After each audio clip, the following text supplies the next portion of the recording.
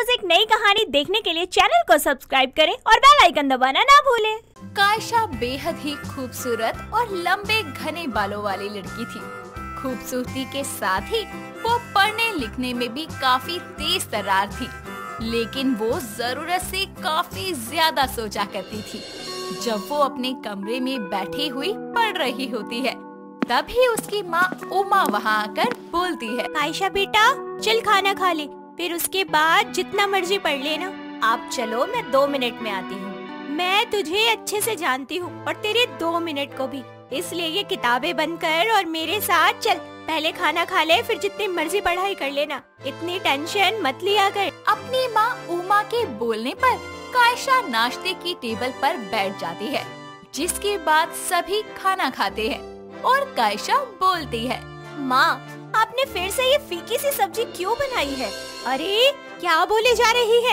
इतना नमक तो है। अब क्या तेरे मुँह में टाटा सॉल्ट की फैक्ट्री खोल दूँ? माँ, मैं नमक की बात नहीं कर रही हूँ। आपने आज जरा सा भी चटपटा खाना नहीं बनाया। मुझे वो अचार वाला डब्बा दो। बिल्कुल नहीं, लेकिन क्यों? बहुत मिर्च मसाले खाने लगी है। अरे, इतना मिर्च मसाला खाएगी तो तेरे बाल पक जाएँगे। मुझे अच्छे से मालूम है। कि तुझे तेरी माँ के हाथ का बनाया हुआ खाना बेस्वाद क्यों लग रहा है? अब मैं इस बार तुझे एक भी पैसा एक्स्ट्रा नहीं दूँगी, ताकि तू बाहर जाकर वो कचरा न खा सके। माँ बर्गर सैंडविच को कचरा कौन बोलता है? कितने टेस्टी होते हैं वो। उनकी बेजती मत करो। वो जंक फ़ूड किसी कचरे से कम थोड़ी ना है। पता नहीं तुझे वो बेस्वाद खाना खाने में क्या मज़ा आता है। अरे, ये सब खाती रहेगी तो तेरे बाल रंग रूप सब खराब हो जाएगा। कायशा अपनी माँ की बातों को अनसुना करके टाल देती है और रेडी होकर कॉलेज जाती है, जहाँ वो अपनी सहेलियों से बातें करती है। तभी कविता बोलती है। कायशा सच कहूँ तो मैं फ़ैन हो गई हूँ। किसकी ओए? तेरे इन लंबे काले घने बालों की यार। काश मेरे भी बाल तेरे जितने लंबे होते। अरे तू उन्हें लंबे होने देगी तभी तो होंगे। मतलब देख। तू आए दिन ये बेकार सी कटिंगे करवाती रहती है और जब भी तेरे बाल जरा से भी बढ़ते हैं तो फिर से उन पर कैची चलवा देती है। तो इससे तो अच्छा है कि जो है उसी में खुश रहे। इसकी इतनी तारीफ़ मत किया कर। देख कैसे भाव खाने लगी। जरा सा बोल दो कि कॉलेज में सबसे इंटेलिजेंट है तो खुद को एल्बर्ट आइंस्टाइन समझने लगती है। हम्म। अगर तुम दोनों का लेक्चर खत्म हो गया है तो क्लास चले। आज पॉलिटिकल का लेक्चर है। लेट्स गो इतना कहकर तीनों क्लास अटेंड करते हैं और थोड़ी ही देर बाद तीनों अपने घर आती हैं। अगले ही दिन कायशा एक बार फिर कॉलेज के लिए रेडी हो रही होती है। तभी उसे अपनी सहेलियों की बातें याद आती है और वो बोलती है, क्यों ना आज बाल खोलकर कॉलेज जाया जाए? अरे इतने लंबे घने बाल बस चोटी बनाने के लिए थोड़ी ना है। कायशा अपने लंबे बालों को खोलकर कॉलेज के लिए निकल जाती है और अपनी सहेलियों से बोलती है तो बताओ, कैसी लग रही हूँ मैं? कायशा को देखकर उसकी दोनों सहेलियाँ मन ही मन खूब जलती है। तभी पायल की नज़र कायशा के सफ़ेद बालों पर पड़ती है और वो बोलती है, अबे, ये क्या सीन है? ओए कविता, ये देख, अबे, ये तो सफ़ेद बाल हैं। अब तो इसकी रिटायरमेंट पक्की। इसे तो जवानी में ही बुढ़ापा आ गया। झूठ बोल रही हो दोनों। ठीक है, फिर तो घर जाकर देख। अगर तेरे सर पे सफ़ेद खेती ना नज़र आए तो कहियो। अरे, वक्त बर्बाद करने से अच्छा है, तू पेंशन के लिए अप्लाई कर। बुढ़ापे के पैसे तो आएँगे। अपने सफ़ेद बालों का मज़ाक उड़ता देखकर। कायशा बुखलाई हुई घर आती है और अपनी माँ से बोलती है, माँ, कहाँ हो आप? जल्दी बाहर आओ। अरे, क्या हो गया? घायल शेरनी की तरह क्यों दहाड़ रही है? माँ, जरा मेरे बाल देखना। अरे, अच्छी लग रही है। बाल क्यों देखो? माँ, देखो तो पहले। कायशा के कहने पर उमा उसके सफ़ेद बालों को देखकर चौंकते हुए बोलती है हाय राम, ये क्या गजब हो गया? कायशा तेरे बाल सफ़ेद कैसे हो गए? इसका मतलब वो दोनों सच बोल रही थी। नहीं नहीं ये नहीं हो सकता। ज़रूर किसी दीवार की सफेदी लग गई होगी मेरे बालों में। इतनी छोटी उम्र में मेरे बाल सफ़ेद नहीं हो सकते। कायशा को अपनी सफ़ेद बालों का विश्वास नहीं होता जिसके बाद वो बाथरूम में जाकर हेयर वॉश करती है और उसकी ये हरकत देखकर उसकी माँ उमा चौंकते हुए बोलती है अरे पागल हो गई है क्या? ये क्या करे जा रही है? अरे तेरे बाल सफ़ेद हो गए हैं। धोने से ठीक नहीं होंगे। लेकिन क्यों माँ? तुझे मैंने लाखों बार समझाया था कि पढ़ाई की इतनी चिंता मत लिया कर और ये जंक फ़ूड मत खाया कर। लेकिन मजाल है, जो तू मेरी बात मान ले, अब इतनी जरा सी उम्र में तेरे बाल सफ़ेद हो गए। माँ, अब मेरे बाल ऐसे ही रहेंगे क्या? नहीं बेटा, तू एक काम कर, रोज सुबह करना अपने नाखून रगड़ा कर। फिर देखियो तेरे बाल फिर से काले हो जाएँगे और तब तक तो चोटी बना ले। कायशा अपने सफ़ेद बालों को छुपाने के लिए फटाफट चोटी बना लेती है। वक्त बीतता जाता है और अपनी माँ के कहे अनुसार कायशा हर वक्त अपने नखूनों को रगड़ती और अपने बालों की तरफ़ देखती। एक दिन कायशा अपनी माँ से बोलती है, माँ, देखो ना, मेरे सफ़ेद बाल काले हो रहे हैं क्या? उमा उसके बालों को देखती है। जो कि और ज़्यादा सफ़ेद हो चुके थे। उमा अपनी बेटी की हरकतों के कारण उसे झूठ बोलती है। हाँ हो रहे हैं। अपनी माँ की बात कायशा को झूठ लगती है और उसी वक्त वो अपनी चोटी खोलती है। तो उसके बाल अब और ज़्यादा सफ़ेद हो चुके थे। ये देखकर वो चौंक जाती है और बोलती है ओ नो, ये नहीं हो सकता।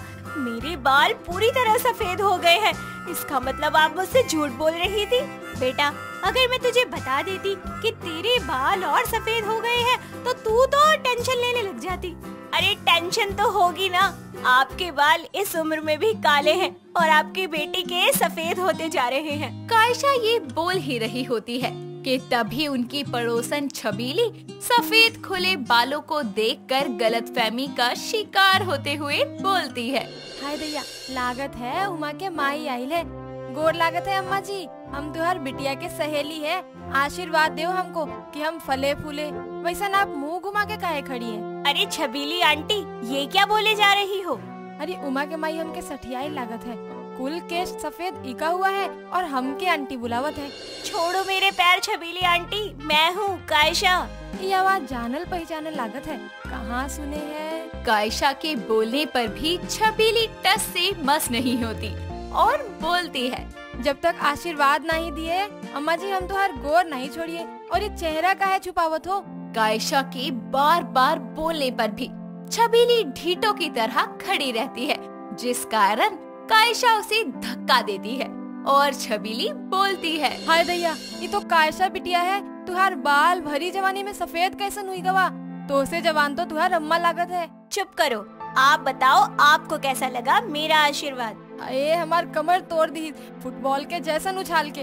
अरे राम अब हम पूरा मोहल्ला के चीख चीख कर बता दे कि उमा के बेटी के केस भरी जवानी में ही सफ़ेद हुई गवा है। बुझाइल? छबीली के जाने के बाद कायशा अपना पर्स लेकर पार्लर जाती है और अपने सफ़ेद बालों को दिखाते हुए बोलती है। क्या आप मेरे इन सफ़ेद बालों का कोई सोल्यूशन बता सकती हैं? यस ऑफ़ कोर्स मैम आज के इस मॉडर्न ज़माने में हर सोल्यूशन है। आपके जैसे सफ़ेद बाल कराने के लिए तो हम चार्ज लेते हैं। ये तो ट्रेंड में है। आप इसे चेंज क्यों कराना चाहती हैं? क्योंकि मेरे बाल मुझे पहले की तरह काले चाहिए। आपको जितने पैसे लेने हैं ले लो लेकिन मेरे बालों को काला कर दो। Okay I will do but according to your skin tone आप पर ब्लैक नहीं ब्राउन हेयर ही परफेक्ट लगेगा। सजेशन देना मेरा काम था। बाकी आप जैसा चाहेंगी मैं आपका हेयर कलर वैसा कर दूँगी। ठीक है, भूरे कर दो लेकिन एक भी बाल सफ़ेद नहीं दिखना चाहिए। पार्लर वाली की बात सुनकर वो कन्विंस हो जाती है, जिसके बाद वो उसके बालों को हाईलाइट करके भूरे कलर के बालों में बदल देती है। और हेयर कलरिंग का प्रोसेस खत्म होने के बाद उसके बालों के अकॉर्डिंग उसको शैम्पू भी सजेस्ट करती है। और कायशा अपने भूरे बालों को देखकर खूब खुश होती है, जिसके बाद वो कॉलेज जाती है। जहाँ उसकी सहेली कविता बोलती है। वाओ ओ यार तू तो छा गई। ये भूरे बाल तेरे ऊपर बहुत जज रहे हैं। बहुत अच्छी लग रही है तू। अबे रहने दे वरना ये फिर से सातवें आसमान पर पहुँच जाएगी पगली। तू देखती रही हो जैसे पहले इसके काले बाल सफ़ेद में बदले थे वैसे ही ये भूरे बाल भी कुछ दिनों बाद सफ़ेद बाल में बदल जाएँगे। वक्त बीतता है और कुछ महीनों बाद कायशा के बाल फिर से सफ़ेद होने लगते हैं। जिसे देखकर उमा बोलती है, कायशा बिटिया पार्लर में जो कलर करते हैं, उसमें कितने केमिकल होते हैं? वो कितने हानिकारक होते हैं? मेरी बात मान, तू अपने बालों पर ब्राउन मेहंदी लगा ले, उससे तेरे बालों को कोई नुकसान भी नहीं होगा और तेरे बाल चमकदार भी रहेंगे।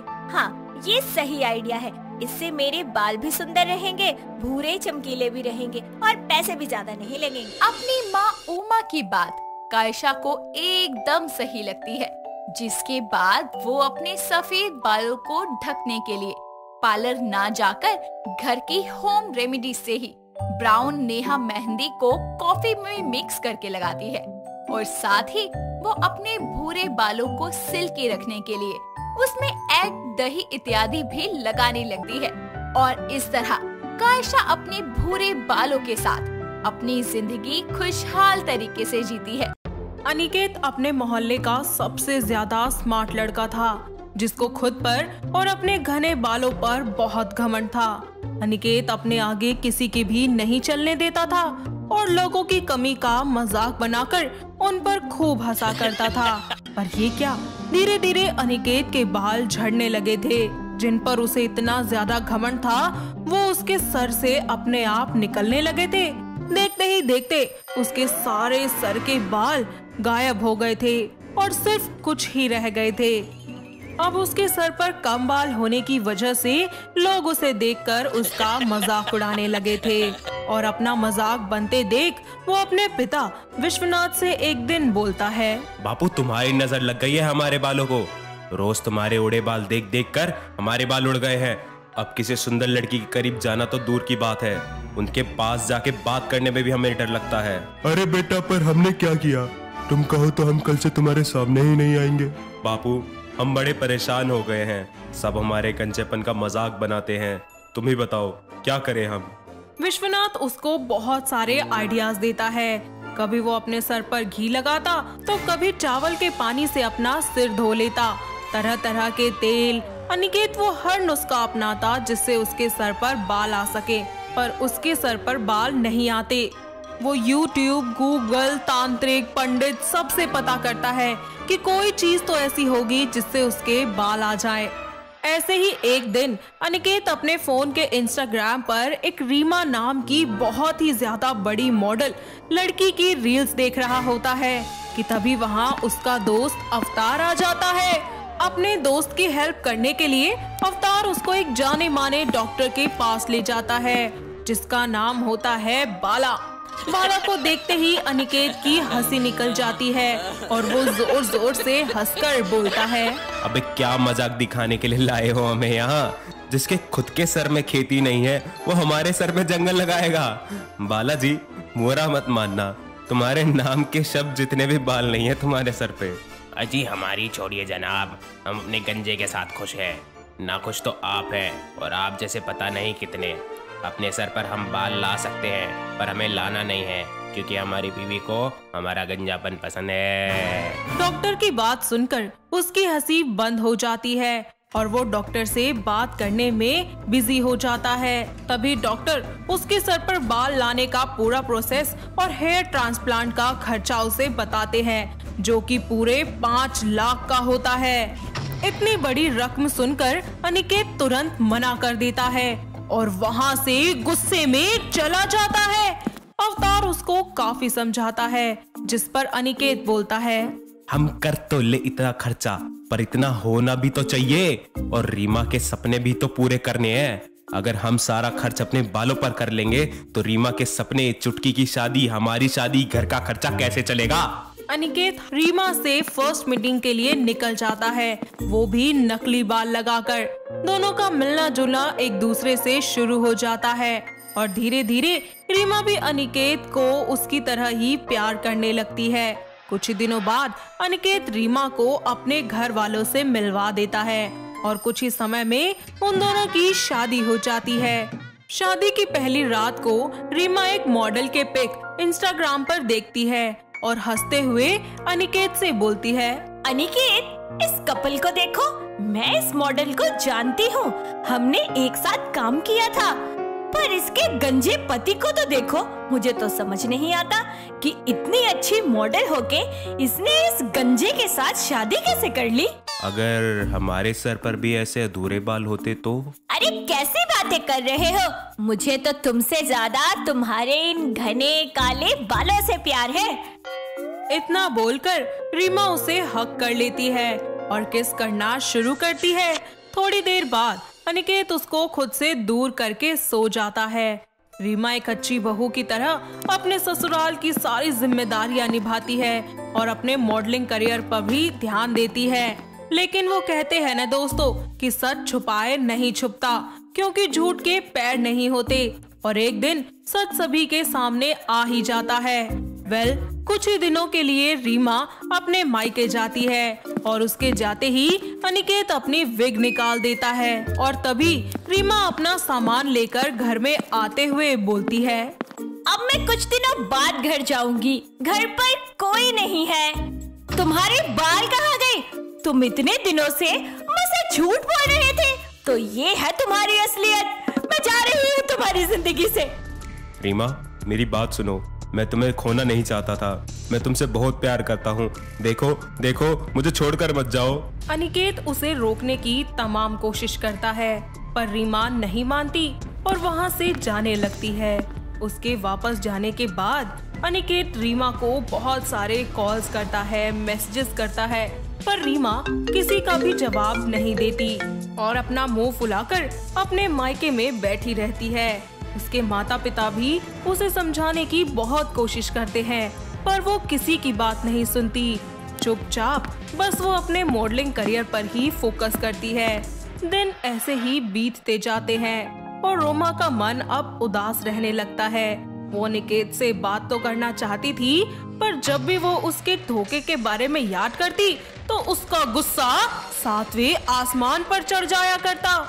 ऐसे ही एक शाम रीमा पार्क में बैठी होती है और अपने चारों तरफ़ देखती है। पार्क में उसे बहुत सारे कपल्स बैठे हुए नज़र आते हैं। तभी उसको उस मॉडल की याद आती है जिसने एक गंजे आदमी से शादी की थी और रीमा ने उसका बहुत मज़ाक बनाया था। थोड़ी देर बाद वो रोड पर एक बुज़ुर्ग कपल को देखती है, जिसमें आदमी बुढ़ा बहुत ही ज़्यादा गंजा होता है, लेकिन फिर भी उसकी वाइफ अपने पति को बहुत प्यार करती है और उसके साथ बहुत खुश है।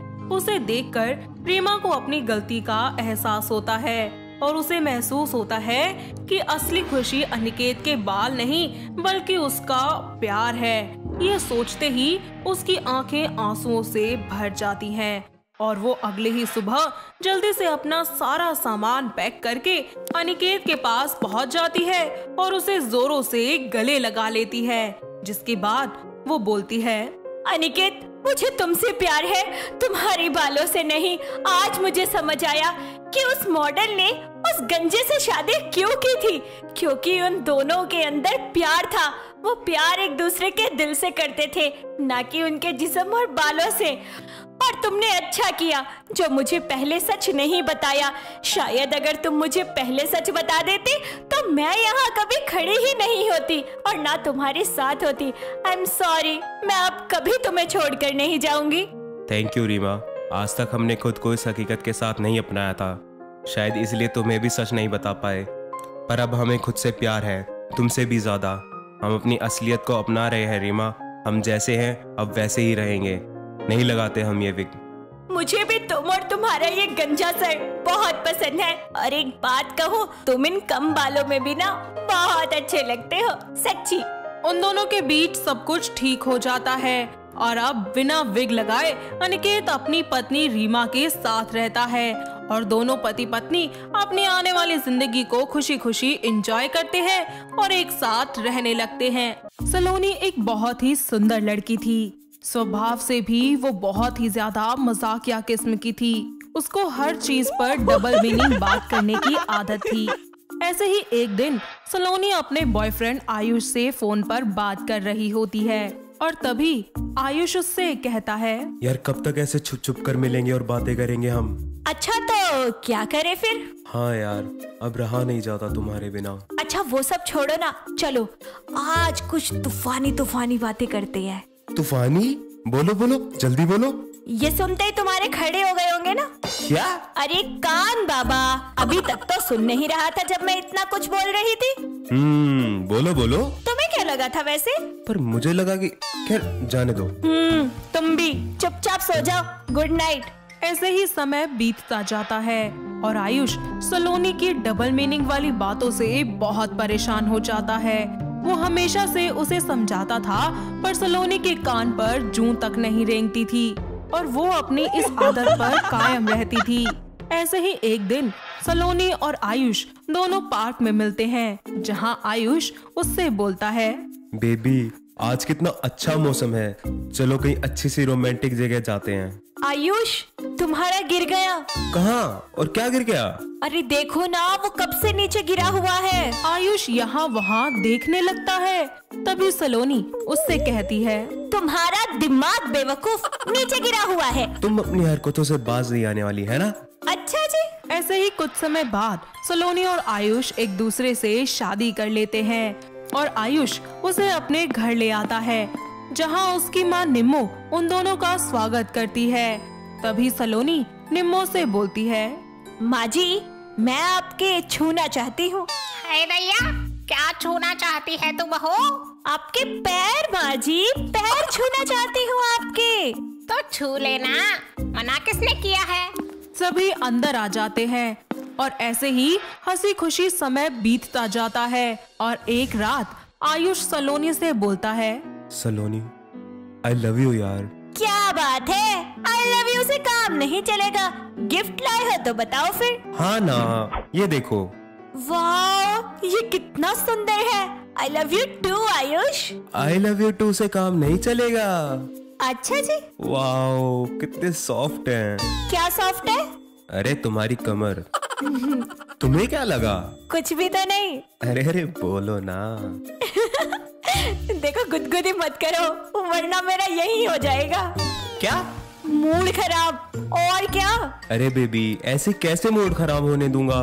दोनों एक दूसरे को गले लगा लेते हैं और एक दूजे के प्यार में खो जाते हैं। ऐसे ही समय बीतता जाता है और सलोनी पूरे घर की जिम्मेदारियाँ अच्छे से निभा लेती है। ऐसे ही एक दिन उसकी सास उससे बोलती है सलोनी बहू जरा इधर तो आ। हाँ माँ जी बोलिए।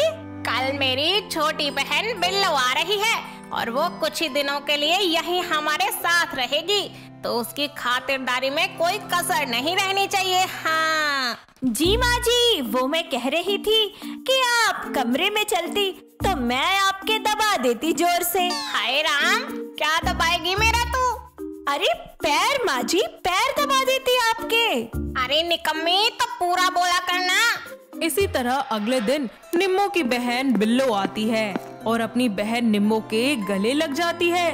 थोड़ी देर बाद सलोनी वहाँ चाय नाश्ता लेकर आती है और उन्हें सर्व करती है और वहाँ से निकल जाती है। कुछ ही देर बाद बिल्लो अपनी बहन से कहती है हाय जीजी बहू तो तू बहुत सुंदर लाई है। हाँ बहन यही है सुंदर सी। पूरी जिम्मेदारियों को इसी ने संभाल रखा है। मैं तो बस अब आराम करती हूँ। अरे मेरी बहू तो एक नंबर की निकम्मी काम जो नलायक है। पता नहीं पिछले जन्म में मैंने कौन से पुण्य किए थे जो मेरी इतनी अच्छी बहू आई है। बिल्कुल सर्वगुण संपन्न है मेरी बहू। सही कहा जीजी। बिल्लो को उन दोनों का प्यार देखकर उनसे जलन होने लगती है और वो मन ही मन सोचती है। हम्म, बड़ी तारीफ़ कर रही है ना अपनी बहू की। हाँ, देख लेना एक दिन तेरी ये सारी तारीफ़ ना नफरत में बदल दूँगी। तुम सास बहू की जोड़ी को अगर मैंने तोड़ न दिया ना तो मेरा नाम भी बिल्लो नहीं। अरे जब मैं परेशान रहती हूँ अपनी बहू से तो तुम्हें भी जीजी कोई हक नहीं है खुश रहने का। फूट तो मैं डलवा कर ही रहूँगी। ऐसे ही समय बीतता जाता है।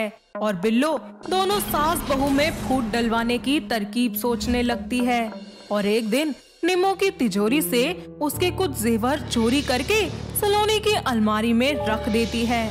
ऐसे ही कुछ दिन बाद जब निम्मो अपनी तिजोरी खोलती है तो वो देखती है कि वहाँ उसका एक हार नहीं है। और ये बात वो जाकर सभी को बताती है। ऐसे में बिल्लो कहती है हाय जीजी मैं तो कहती हूँ सबके कमरे की तलाशी ले लो। तभी सारा दूध का दूध और पानी का पानी हो जाएगा। नहीं ये सब मेरा परिवार है और मुझे मेरे बच्चों पर पूरा यकीन है और यहाँ तक कि मुझे पता है कि तू भी ऐसी कोई हरकत नहीं कर सकती। शायद मुझसे ही कोई गलती हुई होगी। मैं दोबारा देख लूँगी। पर माँ जी वो हार तो आपको बहुत पसंद है। आखिर आपकी मम्मी की निशानी है वो? हाँ बहू। कोई बात नहीं। शायद मैंने ही कहीं इधर उधर रख दिया होगा। माँ जी अच्छे से याद कीजिए आपने कहाँ रखा था? ओहो हो हो बड़ी सहानुभूति दिखा रही है। मुझे तो लगता है जीजी हार इसी ने चुराया है। हम्म, बस कर बिल्लो तेरी इतनी हिम्मत कैसे हुई? मेरी बहू पर इल्ज़ाम लगाने की मेरी बहू लक्ष्मी का रूप है समझी? आज तो बोल दिया है और आज के बाद मेरी बहू के बारे में एक शब्द मत बोलना। अरे अच्छे से जानती हूँ मैं जीजी ऐसी लड़कियों को। ये मत भूल ये कोई अनजान लड़की नहीं है। मेरे घर की बहू है और मेरे बेटे की बीवी समझी? और मैं ये बिल्कुल भी बर्दाश्त नहीं कर सकती कि कोई मेरी बहू के बारे में कुछ भी बोल जाए। बिल्लो गुस्से में अपने कमरे में चली जाती है और ऐसे ही कुछ समय बीत जाता है। बिल्लो फिर से एक दिन अपने कमरे में बैठकर उन दोनों सास बहू के बीच फूट डलवाने के बारे में सोचने लगती है और खुद से बातें करते हुए बोलती है इस बेजती का बदला तो मैं लेकर रहूँगी। अब बहू इतनी प्यारी हो गई कि उसके लिए अपनी छोटी बहन को सुना दिया। ना जीजी, ना। ये तो मैं कभी नहीं सहूँगी। अब तो मुझे कोई भारी कदम उठाना पड़ेगा। हाँ। ऐसे ही कुछ दिन बाद, आधी रात को जब सभी लोग सो रहे होते हैं तो बिल्लो चुपके से उठकर और निम्मो के कमरे में जाकर उसके सारे जेवर चुला लेती है और सलोनी के कमरे में रखती है। तभी अचानक सलोनी लाइट ऑन कर देती है और वहाँ निम्मो, सलोनी और आयुष सभी आ जाते हैं। इस सब के बाद निम्मो बिल्लो को एक जोरदार तमाचा लगाती है। और गुस्से से उससे कहती है बिल्लो तू, तुझे ये सब करने की क्या ज़रूरत थी? अरे, कौन सी कमी रह गई थी मेरे प्यार में? और अगर तुझे ये सब कुछ चाहिए ही था तो मुझे बोल देती, छी, मुझे तो शर्म आती है तुझे अपनी बहन कहते हुए। माफ़ करना जीजी। मैं अपनी जलन की आग में इतना ज़्यादा जल गई थी कि मुझे लगा कि जैसे मैं अपनी बहू से खुश नहीं रहती, वैसे किसी को भी खुश रहने का हक नहीं है। इसीलिए मैंने ये सब किया। मुझे माफ़ कर दीजिए। अच्छा तो तूने ये सब कुछ इसीलिए किया? तो मैं भी कह देती हूँ कि तू भी अगर ऐसे ही सबको परेशान करेगी ना तो खुद भी कभी खुश नहीं रहेगी। अरे, तू दूसरों का भला नहीं कर सकती तो कम से कम उनका बुरा भी तो मत कर। और अगर तू ये बात अच्छे से समझ जाएगी ना तो खुद भी ना तो कभी परेशान रहेगी और ना तुझे कोई दुख होगा। इस तरह बिल्लो को अगले ही दिन अपनी बहन के घर से जाना पड़ता है।